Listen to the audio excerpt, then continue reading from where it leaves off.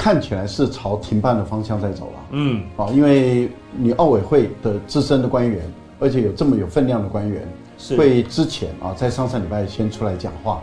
其实这个部分里面已经在打预防针了，就说你日本一定要寻求周边国家的帮忙了，比如说中国大陆的帮忙等等的。为什么呢？因为疫情如果没有控制住的话，他们是不可能办的。嗯，哦，那不可能办的情形下，之前有传出说啊，会不会英国接办？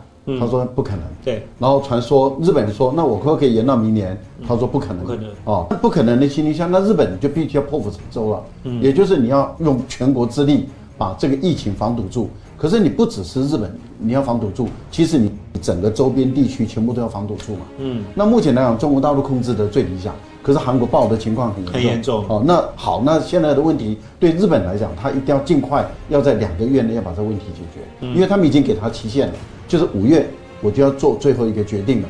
可是对日本来说哈，它经济坦白说，它真的是很渴望寄望于这次的奥运，因为日本人士气很重要。对，日本从这个上次的就是光那个广场协议哈，那么已经衰败到现在的情形下，对日本来讲，他们坦白说。他们需要一支强心针啊！